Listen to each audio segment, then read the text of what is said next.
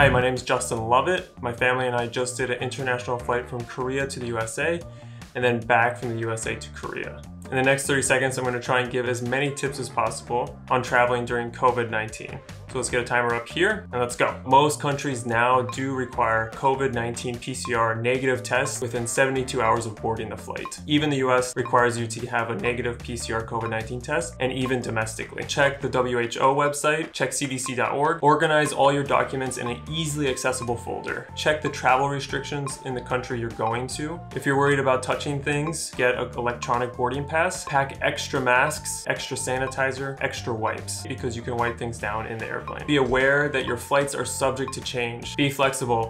Anyways, hope that was helpful. Hope some of these websites are helpful to you guys. If you have any other questions, you can contact us or I recommend checking your own government state website or if you want, check CDC, WHO. Thanks for watching. Let us know if you have any other tips for traveling.